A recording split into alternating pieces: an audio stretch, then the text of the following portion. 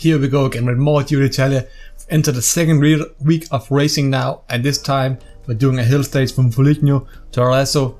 Pozzovivo right now is second overall, not that far behind. Uh, who is it right now? It is Valverde, 39 seconds and 15 seconds ahead of Nibali. Pro is also doing really well, of course, in real life. Pro has sadly crashed out now.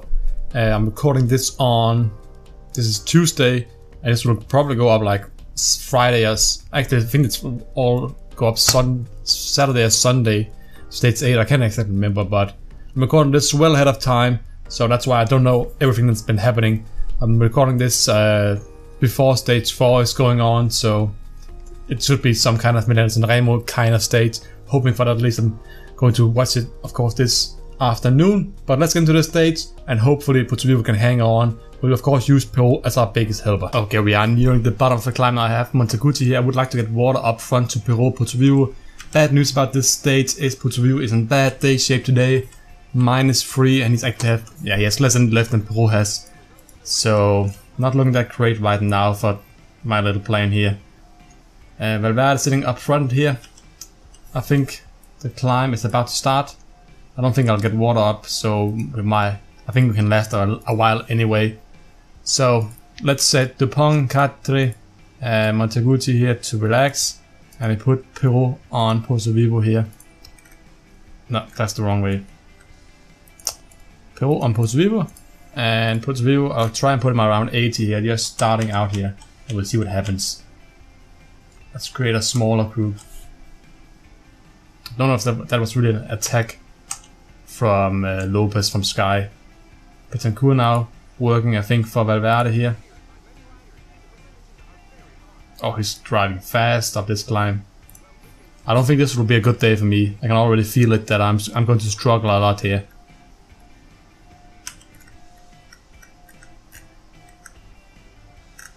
But you can see a lot of riders down here are struggling as well. A little gravel section as well, that's pretty nice. I like the fact that they added a lot of... I've, I've played quite a bit of this database now and there's a lot of status with gravel on it and it's a nice feature because there wasn't really a lot in the, the real game. So now Visconti is gone. You can see the favorites are Landa, Nibali, Valverde, Dumoulin, Chaves, Fuglsang, Uran. All the favorites, Majka here now. It's a small group here now. Up to the flat section here. A few flat kilometers here. It's Chaves and Fuglsang struggling. Landa will have to bridge himself here. He's caught behind Chaves and Fuglsang. And first and third and second are together. Peru, of course, leaving them all out. I could get water, but I'm not going to because I know I'm going probably going to get dropped uh, pretty soon here. Yeah, and there goes Valverde. I'm surprised that Nibali isn't joining him. I expected him to do so, but Valverde is the best hill rider in this race. Nibali might get back at him uh, once we reach what's it called, uh, the mountain states instead. But we go over the top here about a minute or so after. What is he called? Um, uh, Valverde.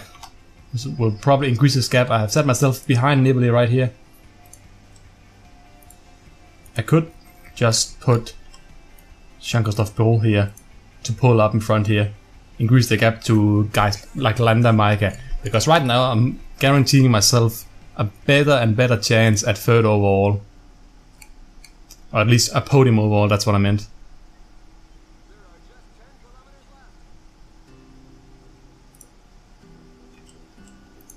Pozzovivo, Péraud used the energy gel here. I'm just hoping to regain some energy with Pozzovivo here. Uh, we are gaining time on the group behind us, but losing time to Valverde. Valverde is so strong right here can clearly tell that he's not he's looking to gain a lot of time here because this is his kind of uh, of stage. Five kilometer mark, I think it was there. Yeah, he's like two kilometers ahead of us. Of course, it is downhill, so it isn't as doesn't seem that bad, but it is. Three kilometers now.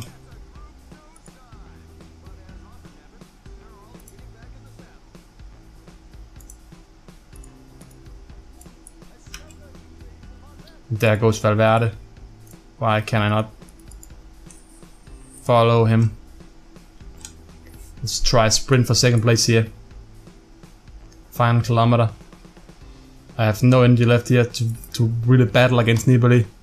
But I'll take third and the four bonus seconds. I think I got the same time as him. Péraud, really impressive. Fourth place. I actually think he'll jump jump quite a way up in the standings. Let's take out the new overall results after stage 8. The overall victory is getting a bit out of hand with Valverde dominating right now. But podium is looking really likely at the moment. So with the, results, I of course finished third on the stage. I'm still second overall. Of course, I, I lost 4 seconds or so in bonus seconds to Nibali. Uh, gained a minute on the rest of my competitors, but lost 2 minutes to Valverde, so kind of a win-lose day today because I'm securing my podium space even more. But on the other hand, the victory seems to be more and more out of sight. Péraud jumps from 10th to 9th, overtaking Fuglsang, and probably he also overtakes Amador. I don't really know. I overtook Amador because he lost 3 minutes, was already ahead of Fuglsang before today. But he's closing up against uh, from 4th to 8th, there's only like a minute between 4th and 8th. Bit of a gap up to 2nd and 3rd between me and Nibali who are really close. And then Valverde right now well ahead in first. Tomorrow's stage will be a flat time trial. It's the longest one of the of the the longest time trial of the, the stage race.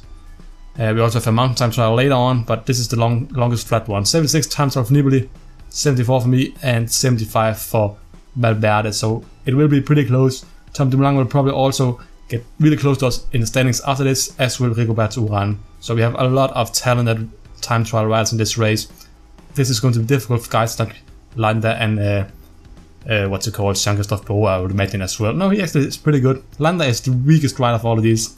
Every other time, every other rider in top 10 have plus 73 times what I actually believe they have. So Landa is going to lose a lot of time tomorrow. Hopefully we won't. See you guys next time. Goodbye.